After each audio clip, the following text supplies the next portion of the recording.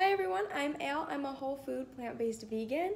Uh, I do food, so I believe in natural healing uh, from food, within food, and I am actually sick. I got sick about five years ago, coming up on my fifth year anniversary, but I got diagnosed with chronic Lyme disease about a year ago.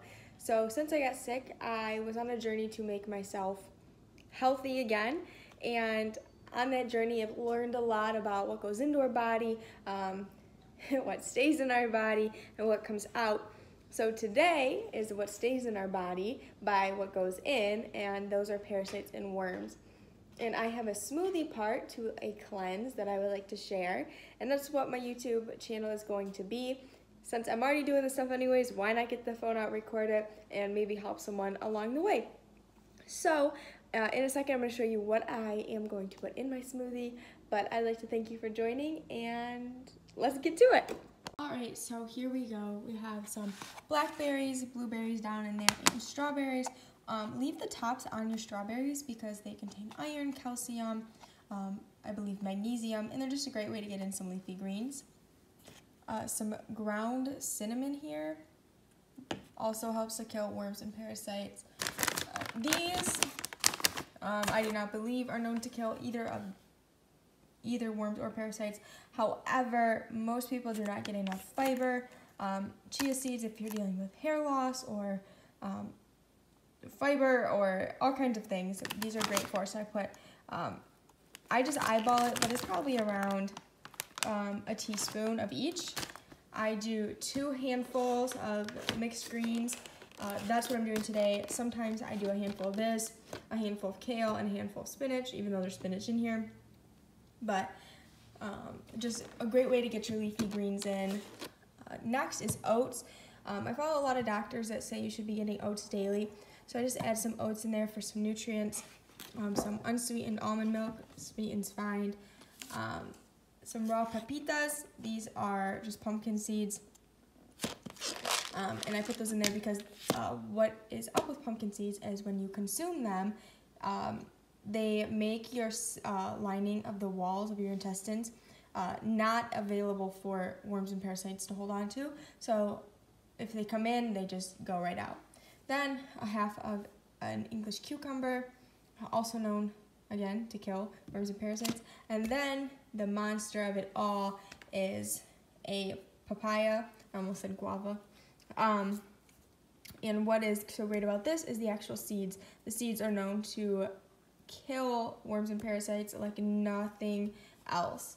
And then also just a little piece of garlic that I do not have out right now, and apple cider vinegar if you have it, but I drink that through the day, so I prefer not to put it in my smoothie. So let me start adding that all to the smoothie. So I'm gonna slowly add this in. First, um, just a couple pieces of garlic here. Uh, what's in there is my red marine algae that is totally separate from what I'm doing. Um, then half of cucumber. Sorry, I'm just manhandling this, but this is what it is.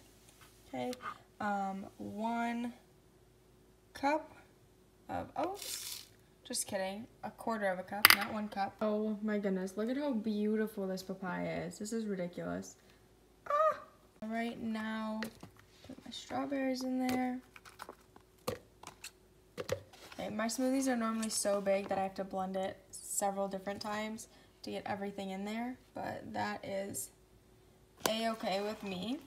Let me finish doing this. Okay, so I'm gonna add my papaya seeds now. I already did my first blend. So now this is gonna be two of these. Oop, I'm not even on there. All right, one, let me see here.